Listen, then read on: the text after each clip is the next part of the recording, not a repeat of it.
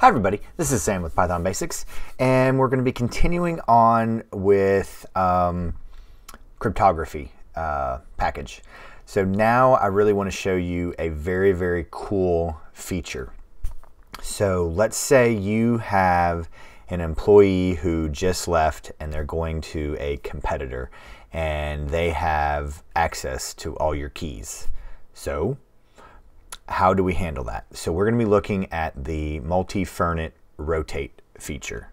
So if you're new here, thanks for joining us. This is what we do. We do micro videos. So before we had our secret, uh, there we go, comes out and then we're able to decrypt it. But if you have these keys, you can look at it and read it but here is an awesome, awesome uh, feature.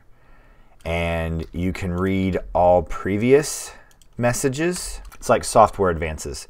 Every new generation can read old generations, but old generations can't read new generations because they don't know about it. So this is how you handle it. So you create a new key, and then what you do is we'll, we'll stick with our multi here. So you create a multi 2 and f dot multi we'll copy all this since my typing today is not great. Then we paste in our new key in front. Don't know why I typed keys. Key 3 all right, then we take our multi two, oh, we need to create a rotated.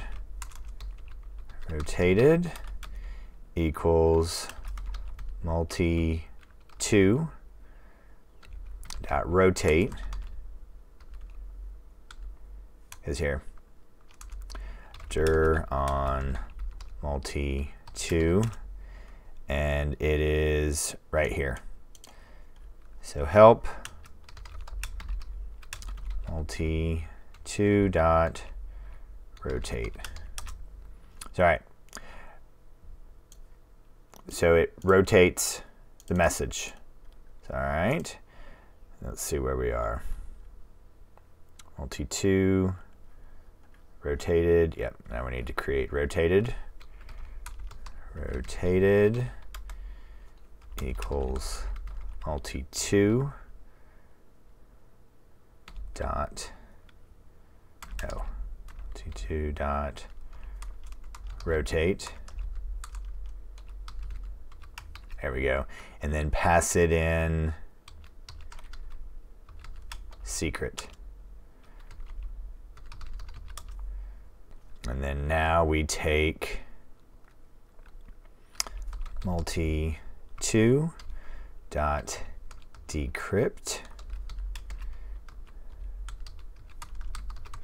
rotated helps if I just knew I've been having an issue with typing today. I don't think I slept well enough. So this is what I want to show you. So this took, even though we put a new key in, this has the capability of reading all old messages while encrypting and decrypting all new messages. So if the employee right here only had all the all the old keys, you would they would not be able they would be able to still see any old messages that were out there. Ooh, that's just the same information that they had, but they would no longer be able to read any new encrypted data. So there we go.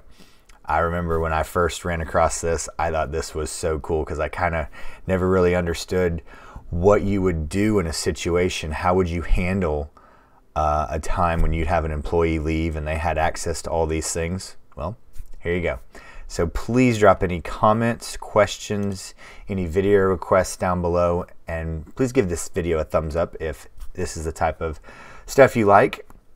And as always, please make sure you're joining that Discord down below. Stay in tuned until the end and checking out these videos.